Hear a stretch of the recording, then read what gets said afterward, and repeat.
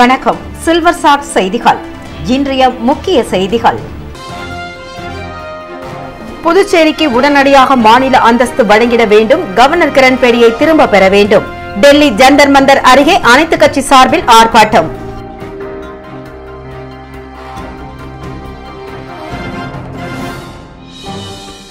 அதிகாரிகளுடனான பேச்சுவார்த்தை தோல்வியில் முடிவுற்றதால் மின்துறை ஊழியர்கள் போராட்டம் இரண்டாவது நாளாக நீடிப்பு போராட்டம் காரணமாக மின்தடை ஏற்பட்டால் பொதுமக்கள் பாதிக்கப்படும் சூழ்நிலை.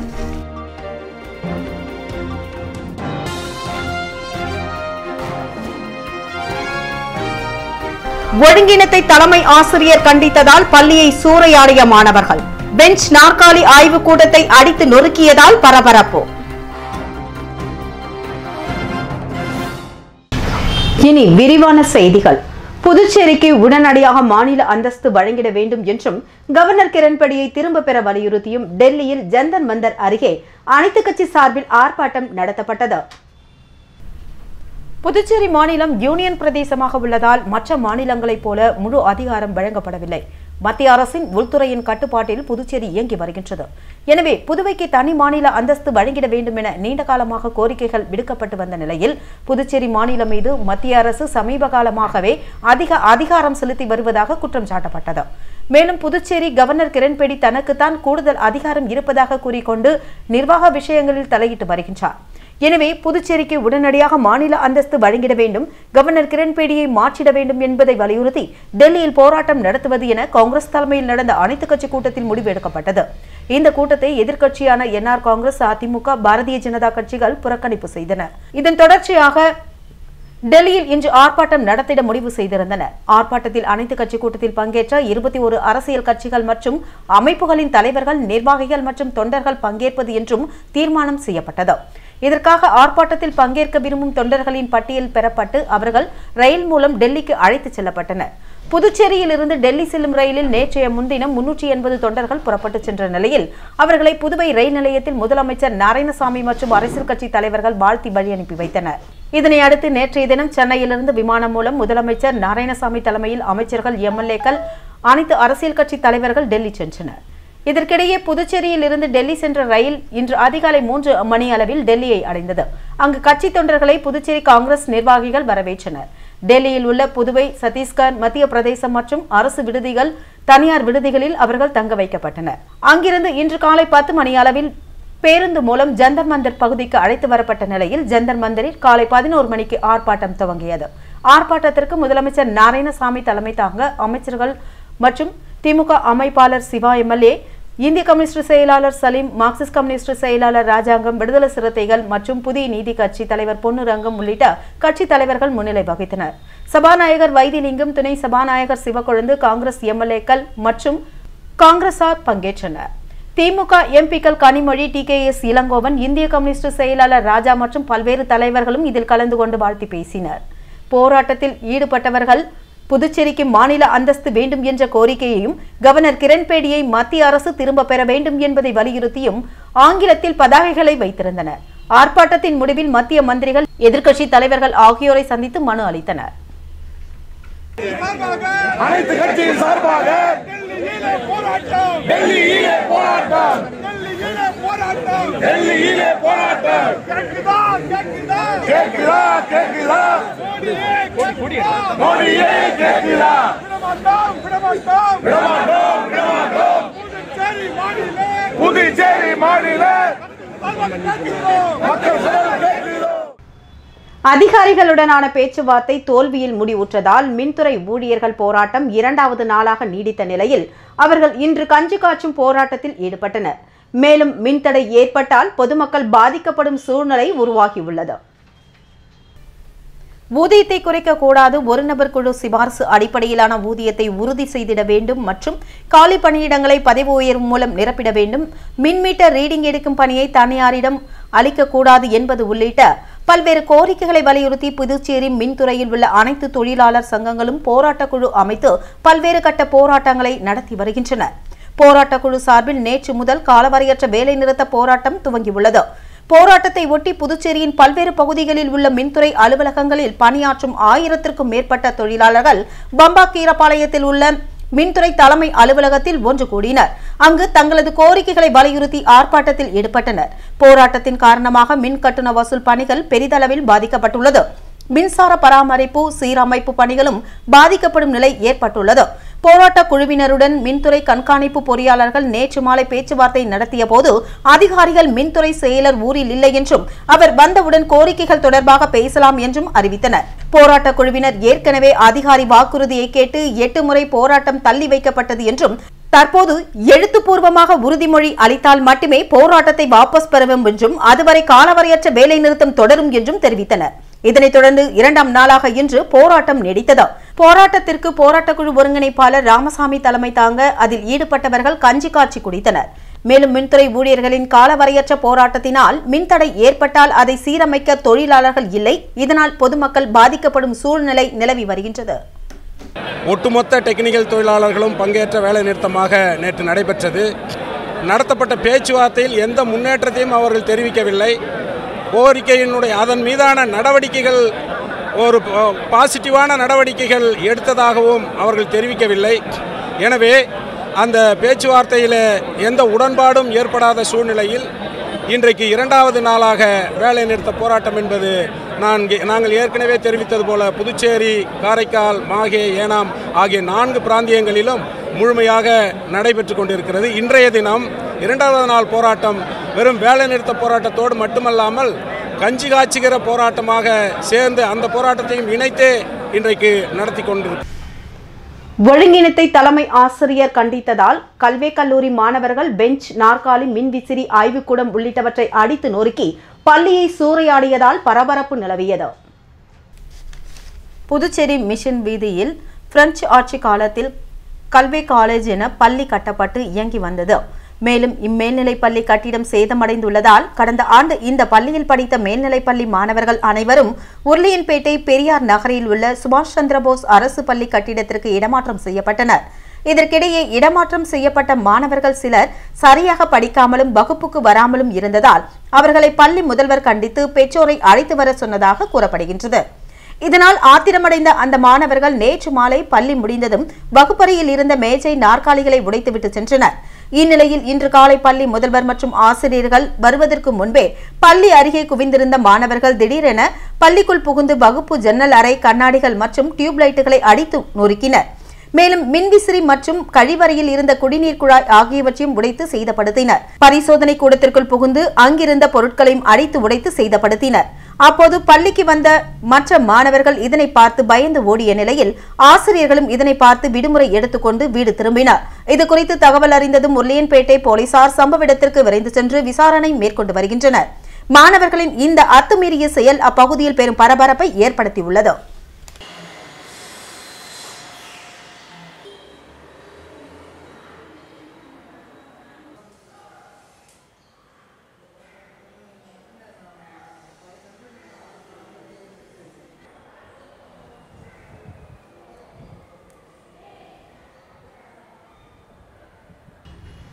முதலமைச்சரும் கவர்னரும் சண்டை போடுவதை நிறுத்திவிட்டு பொங்கல் பண்டிகைக்கு புதுச்சேரியில் உள்ள அனைத்து குடும்ப அட்டைதாரர்களுக்கும் இரண்டாயிரம் ரூபாய் வழங்கிட வேண்டும் என அன்பழகன் எம்எல்ஏ வலியுறுத்தியுள்ளார். முதலமைச்சரும் ஆளுநரும் சண்டை போடுவதை நிறுத்திவிட்டு தமிழகத்தினை போல் பொங்கல் பண்டிகைக்கு புதுச்சேரியில் உள்ள அனைத்து குடும்ப அட்டைதாரர்களுக்கும் இரண்டாயிரம் ரூபாய் வழங்க வேண்டும் என அதிமுக சட்டமன்ற குழு தலைவர் அன்பழகன் வலியுறுத்தியுள்ளார். இது தொடர்பாக சட்டமன்ற வளாகத்தில் இன்று செய்தியாளர்களை சந்தித்த அவர் துணைநிலை ஆளுநர் கிரண்பேடி வறுமை கோட்டிற்கு கீழ் உள்ளவர்களுக்குத்தான் பொங்கல் பரிசு வழங்கப்படும் என கூறுவது புதுச்சேரி மக்களுக்கு செய்யக்கூடிய துரோகம் என்றும் பொங்கல் பரிசு வாங்குவதில் ஆளுநரும் முதலமைச்சரும் பொதுமக்களை களங்கப்படுத்தும் செயலில் ஈடுபட்டுள்ளதாகவும் குற்றம் சாட்டியுள்ளார். இது தொடர்பாக பேசிய அவர் தமிழகத்தில் பாகுபாடின்றி அனைவருக்கும் பொங்கல் பரிசை ஆளுநர் அறிவித்துள்ள நிலையில் மிகவும் குறைந்த எண்ணிக்கையிலான மக்கள் உள்ள புதுச்சேரியில் அனைவருக்கும் பொங்கல் பரிசை அறிவிக்க துணைநிலை ஆளுநர் மறுப்பதாகவும் குற்றம் சாட்டியுள்ளார். மேலும் ஆளுநர் கிரண்பேடியின் மோதல் காங்கிரஸ் முதல்வருடன் இருப்பதில் தவறில்லை என்று கூறிய அவர் இருவரின் மோதல் போக்கினால் முழுமையாக புதுச்சேரி மக்கள் பாதிக்கப்படுவதாக தெரிவித்துள்ளார். மேலும் இருவரும் தகராறு செய்வது மக்களுக்கு எரிச்சலை ஏற்படுத்தும் நிலையில் இலவச அரிசி இன்னும் வழங்கப்படாத நிலையிலும் முதலமைச்சரும் ஆளுநரும் குடுமி சண்டை போடுவதை விட்டுவிட்டு அனைத்து குடும்ப அட்டைதாரர்களுக்கும் ரூபாய் இரண்டாயிரம் வழங்கிட வேண்டும் என அன்பழகன் எம்எல்ஏ வலியுறுத்தியுள்ளார். பிஜேபி கட்சியினுடைய உறுப்பினராக இருந்து டெல்லி சட்டமன்ற தேர்தலில் மக்களால் புறக்கணிக்கப்பட்டு இங்கே துணைநிலை இருக்கின்ற இந்த கிரண் பேடி ஒரு அரசாங்கத்தினுடைய ஒரு சாதாரணமான வந்து ஒரு இலவச பொருட்கள் விஷயத்தில் கூட இப்படி நடப்பது என்பது மக்களுக்கு செய்யக்கூடிய ஒரு துரோகம். அவங்களுக்கு அவங்களுக்கு அதிமுக சார்பில் ஒருவர் வேண்டுகோள் நீங்கள் வந்து முதலமைச்சர் எதிருங்க நாங்கள் வேணாம்ல நீங்கள் வந்து பிஜேபி அவர் காங்கிரஸு நீங்கள் ரோட்டில் கூட சண்டை போட்டுங்க. நாங்கள் வானான்னு சொல்ல ஆனால் உங்களுடைய உங்களுடைய அன்றாட நிர்வாக பிரச்சனை சம்பந்தமாக பொங்கலுக்கு வழங்க வேண்டிய இது வந்து ஒரு பரிசு பொருள். இது ஏழை எளிய மக்களுக்கு எல்லாருக்கும் வந்து வந்து வழங்கப்பட வேண்டிய ஒரு சும்மா ஒரு பொங்கலுக்கு வழங்கப்பட வேண்டிய பரிசு பொருள். ஒரு வீட்டுக்கு நூற்றி முப்பத்தஞ்சு ரூபா தான். ஒரு குடும்பத்துக்கு நூற்றி முப்பத்தஞ்சு ரூபா. மொத்தமாக பார்த்தா அஞ்சு ஏழு கோடி ரூபாய் கூட ஆகாது இதில் வந்து நீ பெரியவனா நான் பெரியவனான்னு சொல்லிட்டு சண்டை போடுவது என்பது வந்து ரொம்ப ரொம்ப ஒரு வந்து கேவலமான ஒன்றா இருக்குது. இந்த செய்கையே வந்து இந்த வந்து செய்தியே வந்து தொடர்ந்து பத்திரிகையில் படிக்கிறது வந்து அருவருக்கத்தக்கதாக இருக்குது. இந்த வந்து பரிசு பொருள் வந்து வந்து பரிசு பொருள் வந்து பெருவர்களே பெறக்கூடிய பொதுமக்களை கலங்கப்படுத்தக்கூடிய ஒரு செயலில் இந்த முதலமைச்சர் நாராயணசாமியும் இந்த துணைநிலை ஆளுநரும் இணைந்து ஈடுபட்டுக்கிறாங்க. இந்த வந்து பரிசு பொருளை வாங்குறதே சிக் இதுக்கு மேலே கூட இந்த பரிசு வாங்கணும்னு பப்ளிக்கே நினைப்பான் போல இவ்வளோ ஒரு கேவலமாக ஒரு கீழ்த்தரமாக இதுக்கு நான் ஃபைல் புட்டப் பண்ணிட்டேன் அது பண்ணிட்டேன் அவங்க திருப்பி அனுப்பிச்சிட்டாங்க அதை பண்ணிட்டாங்க இது பண்ணிட்டாங்க. என்ன இது? வெக்கக்கேடான ஒரு செயலாகுது இது. தமிழகத்தில் வந்து வழங்குது போன்று ஒவ்வொரு குடும்பத்திற்கும் சின்ன மாநிலம் தானே? இப்போ வந்து இலவச அரிசி நீங்கள் ரெண்டு மாதத்துக்கு போடல. அதையும் சேர்த்து ஒவ்வொரு குடும்பத்துக்கும் ரெண்டாயிரம் ரூபா கொடுக்கணும் இந்த பொங்கலுக்கு. இலவச அரிசி ரெண்டு மூணு மாதம் போடல. துணி கிடையாது. பொங்கலுக்கு தாழ்த்தப்பட்டவர்கள் துணி கொடுக்கணும் கொடுக்கல. அதனால் வந்து நீங்கள் வந்து இந்த வந்து இந்த பொங்கல் பண்டிகைக்கு முன்பாக ஒவ்வொரு குடும்பத்தினருக்கும் தமிழகத்தை பின்பற்றி ரூபாய் ரெண்டாயிரம் ரூபாய். கடும் குளிரையும் பொருட்படுத்தாமல் புதுச்சேரியிலிருந்து ஆர்ப்பாட்டத்தில் பங்கேற்க சென்ற தலைவர்கள் மற்றும் தொண்டர்கள் கடும் சிரமத்திற்கு இடையே ஆர்ப்பாட்டத்தில் பங்கேற்று கோரிக்கைகளை வலியுறுத்தியுள்ளனர். டெல்லி ஆர்ப்பாட்டத்தில் பங்கேற்பதற்காக அனைத்து கட்சி தொண்டர்கள் சென்றிருந்தனர். டெல்லியில் தற்போது கடும் குளிர் காலமாகும். புதுச்சேரியில் தற்போது நிலவும் குளிரை விட பல மடங்கு அதிக குளிர் டெல்லியில் வீசி வருகின்றது. இதற்கு தாக்கு பிடிக்க முடியாமல் தொண்டர்கள் மிகவும் கஷ்டப்பட்டனர். ஸ்வெட்டர் உள்ளிட்ட பாதுகாப்பு உடைகளை அணிந்திருந்தாலும் அதையும் தாண்டி குளிர் தாக்கியது. எனவே கடும் சிரமத்திற்கு இடையே தான் ஆர்ப்பாட்டத்தில் அவர்கள் கலந்து கொண்டு உள்ளனர் என்பது குறிப்பிடத்தக்கது. தூய்மை நகர போட்டியில் புதுச்சேரி உழவர்கரை நகராட்சிகள் பங்கேற்க உள்ளதால் பொதுமக்கள் ஒத்துழைப்பு அளிக்க வேண்டும் என நகராட்சி ஆணையர்கள் பொதுமக்களுக்கு வேண்டுகோள் விடுத்துள்ளனர். புதுச்சேரி நகராட்சி ஆணையர் ஆதர்ஷ் உழவர்கரை நகராட்சி ஆணையர் கந்தசாமி ஆகியோர் கூட்டாக செய்தியாளர்களை சந்தித்தனர். அப்போது அவர்கள் மத்திய நகர்ப்புற வளர்ச்சி அமைச்சகம் தூய்மை இந்தியா இயக்கத்தின் ஸ்வச் சர்வேக்ஷன் இரண்டாயிரத்தி பத்தொன்பது என்ற தலைப்பின் கீழ் நானூற்றி அறுபத்தி மூன்று நகரங்களில் உள்ள நகராட்சிகள் இடையே தூய்மையான நகரம் எவை என போட்டி வைத்து தூய்மையான நகரங்கள் தேர்வு செய்யப்பட உள்ளதாகவும் இந்த போட்டியில் புதுச்சேரி மற்றும் மதுரை மாநகராட்சிகள் பங்கேற்க உள்ளதாகவும் இந்த மாதம் நான்காம் தேதி முதல் முப்பத்தி ஒன்றாம் தேதி வரை தூய்மையை அடிப்படையாக வைத்து போட்டிகள் நடத்தப்பட உள்ளதாகவும் தெரிவித்துள்ளனர். மேலும் இப்போட்டியில் மொத்தம் நான்கு பிரிவுகளாக ஐநூறு மதிப்பெண்கள் கொண்டு நடத்தப்படும் என்றும் திறந்தவெளி கழிப்பிடம் இல்லாததற்கு சான்று நேரடியாக பார்வையிட்டு தூய்மை மதிப்பெண் நகராட்சி செயல்பாடுகள் மக்களிடம் நகராட்சிகளின் தூய்மை பணிகள் குறித்து கருத்து கேட்பு ஆகியவற்றிற்கு ஆயிரத்தி எழுநூற்றி ஐம்பது மதிப்பெண்கள் அளிக்கப்படும் என்றும் நகராட்சியின் தூய்மை பணி தொடர்பாக மக்களிடத்தில் தொலைபேசியில் செல்பேசி வாயிலாக கருத்து கேட்கப்படும் என்றும் அப்போது நகராட்சி பணி தொடர்பாக மக்கள் தங்களது கருத்துக்களின் அடிப்படையில் தனி மதிப்பெண் அளிக்கப்படும் எனவும் மத்திய அரசின் ஸ்வச்சதா ஆஃப் செயலியை கூகுள் பிளே ஸ்டோரில் இருந்து பதிவிறக்கம் செய்து தங்கள் பகுதியில் உள்ள புகார்களை படங்களாக தெரியப்படுத்தலாம் என்றும் இதற்கு தனி மதிப்பெண் உண்டு எனவும் ஸ்மார்ட் போன் இல்லாதவர்கள் தொலைபேசி வாயிலாக தெரிவிக்கலாம் என்றும் அறிவிக்கப்பட்டுள்ளது. மேலும் இப்போட்டியில் புதுச்சேரி உழவர்கரை நகராட்சி சிறந்த தரவரிசை இடம்பெற பொதுமக்கள் மற்றும் வியாபார நிறுவனங்கள் ஆதரவு தர வேண்டும் என்றும் அவர்கள் தெரிவித்துள்ளனர். சிறிய விளம்பர இடைவேளைக்கு பிறகு செய்திகள் தொடரும். செய்திகள் தொடர்கின்றன. முத்ரா திட்டத்தின் கீழ் கடன் வழங்காததை கண்டித்து புதுச்சேரி தட்டாஞ்சாவடி பாரத ஸ்டேட் பேங்க் வங்கி கிளையை பாஜகவினர் முற்றுகையிட்டு ஆர்ப்பாட்டத்தில் ஈடுபட்டனர். பிரதமரின் முத்ரா திட்டத்தின் கீழ் நாட்டில் உள்ள அனைத்து பாரத ஸ்டேட் வங்கிகளில் நடுத்தர மக்கள் தொழில் துவங்குவதற்கு கடனுதவி அளிக்கப்பட்டு வருகின்றது. ஆனால் புதுச்சேரி தட்டாஞ்சாவடி தொகுதியில் உள்ள பாரத ஸ்டேட் பேங்க் கிளையில் இதற்குண்டான விண்ணப்பங்களும் கடனுதவியும் வழங்கப்படாததை கண்டித்து சுமார் ஐம்பதற்கும் மேற்பட்டோர் கலந்து கொண்டு நுழைவு வாயில் முன்பாக ஆர்ப்பாட்டத்தில் ஈடுபட்டனர்.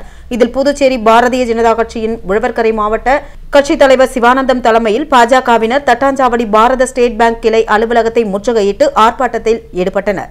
இதில் அக்கட்சியை சேர்ந்த நிர்வாகிகள் சுந்தரமூர்த்தி சுப்புராஜ் கமலநாதன் நரசிம்மன் உள்ளிட்ட பலர் கலந்து கொண்டு கடன் உதவிக்கான விண்ணப்பங்கள் வழங்கப்படாததை கண்டித்து கோஷங்களை எழுப்பினர்.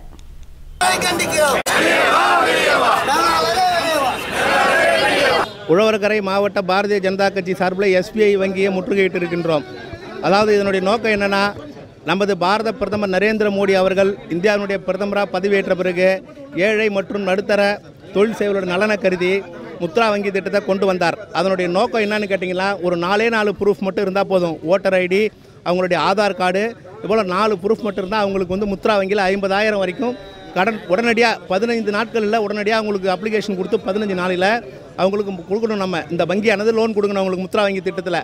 மேலும் பார்த்தீங்கன்னா இந்த வங்கியானது இந்த மாதிரி முத்ரா வங்கி லோன் கேட்டவங்கள எட்டு மாத காலமாகவும் நாலு மாத காலமாகவும் அலைய வச்சுக்கின்னு லோன் தராமல் பந்த் போராட்டத்திற்கு அரசு ஊழியர் சங்கங்களின் சம்மேளனம் ஆதரவு அளித்துள்ளதாக சங்கங்களின் தலைவர் அறிவித்துள்ளார். புதுச்சேரி அரசு ஊழியர் சங்கங்களின் சம்மேளன தலைவர் பாலகிருஷ்ணன் இன்று செய்தியாளர்களை சந்தித்தார். அப்போது அவர் மத்திய அரசை கண்டித்து வருகின்ற எட்டு ஒன்பது ஆகிய தேதிகளில் அனைத்து தொழிற்சங்கம் சார்பில் நடத்தப்படும் போராட்டத்திற்கு அரசு ஊழியர் சங்கங்களின் சம்மேளனம் ஆதரவு அளிப்பதாக தெரிவித்துள்ளார். மேலும் எட்டாம் தேதி தலைமை தபால் நிலையம் முன்பாக அரை நாள் தர்ணா போராட்டம் நடத்துவதாக தெரிவித்த அவர் ஒன்பதாம் தேதி பல்வேறு வகை போராட்டங்கள் நடத்த உள்ளதாகவும் தெரிவித்துள்ளார். மேலும் இச்சந்திப்பின் போது அரசு ஊழியர் சங்கங்களின் நிர்வாகிகள் பலர் உடனிருந்தனர். திருச்சியில் இருக்கிற அசுவை சம்மேளனமும் கலந்துள்ளது அது ஒட்டி பார்த்தீங்கன்னா கடந்த ஒரு மாதமாக ஒரு ஏழு இடங்களில் நகரம் கிராம பகுதிகளில் அரசு மத்தியில் பிரச்சாரம் செய்யும் வகையில் கூட்டம் நடத்தியிருக்கிறோம். நாளைக்கு மாலை டெல்லியில் உள்ள கீர்த்தி மஹாலில் தமிழ்நாடு அரசு சங்கத்துடைய மாநில செயலாளர் தொடர் இரா பன்னீர்செல்வம் அவங்க வந்து வேலைநிறுத்த ஆயத்த கருத்தரங்களில் கலந்து கொண்டு சிறப்பு நாட்டிற்காக தேசிய அளவிலான யோகா போட்டிகளின் பரிசளிப்பு விழா தமிழ்ச்சங்கத்தில் நடைபெற்றதில் முன்னாள் முதலமைச்சர் ரங்கசாமி கலந்து கொண்டு பரிசுகளை வழங்கினார். Puducherry Yogasana hero association of India சார்பில் தேசிய அளவிலான யோகா போட்டிகள் புதுச்சேரியில் நடத்தப்பட்டது. இதில் புதுச்சேரி தமிழ்நாடு கேரளா கர்நாடகா உட்பட ஒன்பது மாநிலங்களை சார்ந்த நூற்றி ஐம்பதற்கும் மேற்பட்டோர் கலந்து கொண்டனர். மேலும் இப்போட்டியில் வெற்றி பெற்றவர்களுக்கு பரிசளிப்பு விழா தமிழ்ச்சங்க வளாகத்தில் நடைபெற்றது. விழாவிற்கு புதுச்சேரி யோகாசன ஹீரோ அசோசியேஷன் ஆஃப் இந்தியா நிறுவனர் செனல்குமார் தலைமை தாங்க சிறப்பு விருந்தினராக முன்னாள் முதலமைச்சர் ரங்கசாமி சட்டமன்ற உறுப்பினர் என் எஸ் ஜெயபால் முன்னாள் சபாநாயகர் சபாநாயகர் சபாபதி புதுவை தமிழ்ச்சங்க தலைவர் முத்து ஆகியோர் கலந்து கொண்டு போட்டிகளில் வெற்றி பெற்றவர்களுக்கு பதக்கங்கள் மற்றும் கோப்பைகள் சான்றிதழ்களை வழங்கினார்கள். இந்நிகழ்ச்சியில் மாணவ மாணவிகள் பெற்றோர்கள் என திரளானோர் பங்கு பெற்றனர்.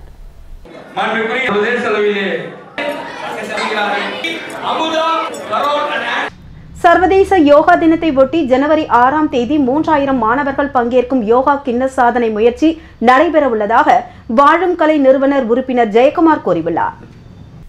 வாழும் கலை நிறுவனத்துடன் இணைந்து புதுச்சேரி சுற்றுலாத்துறை சர்வதேச யோகா தினத்தை முன்னிட்டு மூன்றாயிரம் மாணவ மாணவிகள் பங்கேற்கும் கின்னஸ் சாதனை முயற்சிகளை மேற்கொள்ள உள்ளது இதுகுறித்து வாழும் கலை நிறுவனத்தின் உறுப்பினரும் லிம்கா சாதனையாளருமான ஜெயக்குமார் செய்தியாளர்களை சந்தித்தார். அப்போது அவர் புதுச்சேரி அரசின் சுற்றுலாத்துறை சார்பில் இருபத்தி ஐந்தாவது சர்வதேச யோகா திருவிழா ஜனவரி நான்காம் தேதி துவங்கி ஏழாம் தேதி வரை நான்கு நாட்கள் நடைபெறவுள்ளதாகவும் இதில் பல்வேறு நாடுகள் மற்றும் நாட்டின் பல்வேறு மாநிலங்களைச் சேர்ந்த யோகாசன நிபுணர்கள் பங்கேற்க உள்ளதாகவும் இதன் ஒரு பகுதியாக வருகின்ற ஆறாம் தேதி புதுச்சேரி அரசின் சுற்றுலாத்துறையுடன் வாழும் கலை நிறுவனம் இணைந்து யோகாசனத்தில் கிண்ண சாதனை முயற்சிகள் நடத்த உள்ளதாகவும் இந்த நிகழ்வு இந்திரா காந்தி விளையாட்டு அரங்கில் நடைபெறவுள்ளதாகவும் தெரிவித்துள்ளனர்.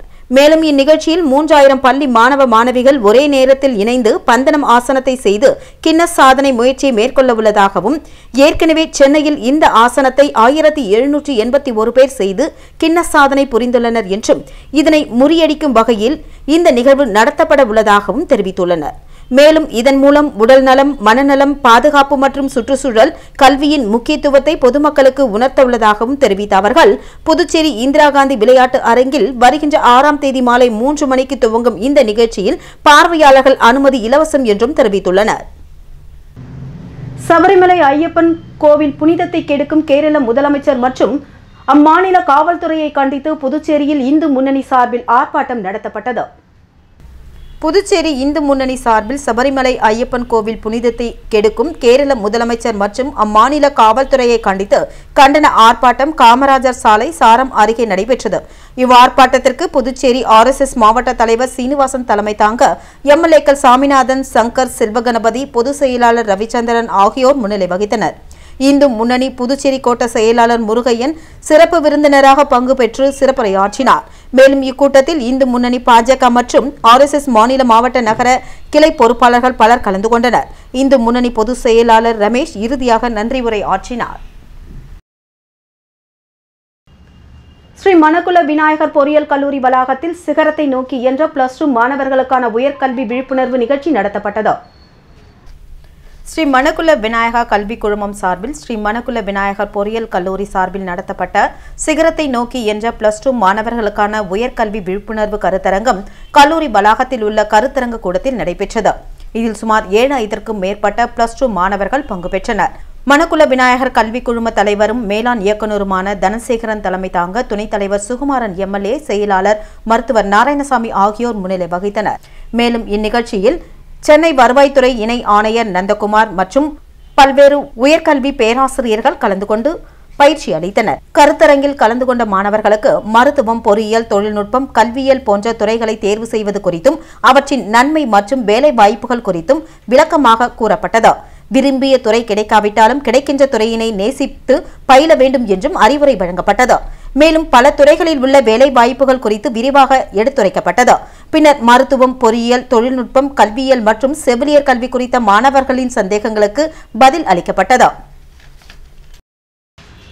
மியான்மர் அல்லது பர்மா ஆசியாவில் தென்கிழக்கு பகுதியில் அமைந்துள்ள ஒரு நாடாகும். இரும்பு திரை என அழைக்கப்படும் பர்மா ஆயிரத்தி தொள்ளாயிரத்தி நாற்பத்தி எட்டாம் ஆண்டு பிரிட்டனிடம் இருந்து இதே நாளில்தான் விடுதலை பெற்றது. மியான்மர் அல்லது பர்மா ஆசியாவில் தென்கிழக்கு பகுதியில் அமைந்த நாடாகும். இன்றைய இரும்பு திரை நாடு ஆயிரத்தி தொள்ளாயிரத்தி நாற்பத்தி எட்டாம் ஆண்டு பிரிட்டனிடம் இருந்து விடுதலை பெற்றது. ஆயிரத்தி தொள்ளாயிரத்தி எண்பத்தி ஒன்பதாம் ஆண்டு பர்மா என்ற நாட்டின் பெயரை மியான்மர் என மாற்றப்பட்டது. அப்போதைய தலைநகர் ரங்கூன் பின்னர் யங்கோன் என பெயர் மாற்றம் செய்யப்பட்டது. இரண்டாயிரத்தி ஆறாம் ஆண்டின் பிறகு மியான்மரின் தலைநகராக நைபியத்தவ் மாற்றி அமைக்கப்பட்டது. பனிரெண்டாயிரம் ஆண்டுகளுக்கு முன்பே மனிதர்கள் இங்கு வாழ்ந்து வந்துள்ளனர். ஆனால் அரசாட்சி முதலாம் நூற்றாண்டின் தொடங்கியது என்றும் கூறப்படுகின்றது. சுமார் நூற்றி முப்பது இனங்கள் இங்கு வாழ்கின்றன. நூற்றிற்கும் மேற்பட்ட மொழிகளும் வட்டார வழக்குகளும் உள்ளன. அரசு மொழி பர்மியம். பல்லாயிரக்கணக்கான புத்த விகார்களை நாடு முழுவதும் பரவி இருப்பதால் இது லேண்ட் ஆஃப் பொஹோடாஸ் என்றும் வழங்கப்படுகின்றது. யங்கூனில் உள்ள தங்கத்தால் வேயப்பட்ட ஷெவை டாகோன் பகோடா மிகவும் புகழ்பெற்றது. பளிங்கு பலகைகளால் ஆனதாக உள்ளது. ஆயிரத்தி தொள்ளாயிரத்தி நாற்பத்தி எட்டாம் ஆண்டு ஜனவரி நான்காம் தேதி பர்மா பிரிட்டனிடம் இருந்து விடுதலை பெற்ற தினம் இன்று. மீண்டும் முக்கிய செய்திகள். புதுச்சேரிக்கு உடனடியாக மாநில அந்தஸ்து வழங்கிட வேண்டும். கவர்னர் கிரண்பேடியை திரும்ப பெற வேண்டும். டெல்லி ஜந்தர் மந்தர் அருகே அனைத்து கட்சி சார்பில் ஆர்ப்பாட்டம்.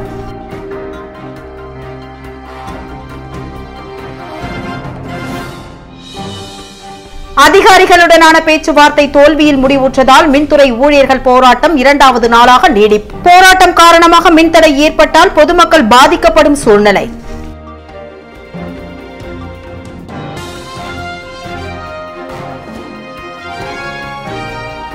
ஒழுங்கினத்தை தலைமை ஆசிரியர் கண்டித்ததால் பள்ளியை சூறையாடிய மாணவர்கள். பெஞ்ச் நாற்காலி ஆய்வுக் கூட்டத்தை அடித்து நொறுக்கியதால் பரபரப்பு. இத்துடன் சில்வர் சாட் செய்திகள் நிறைவு பெற்றன. வணக்கம்.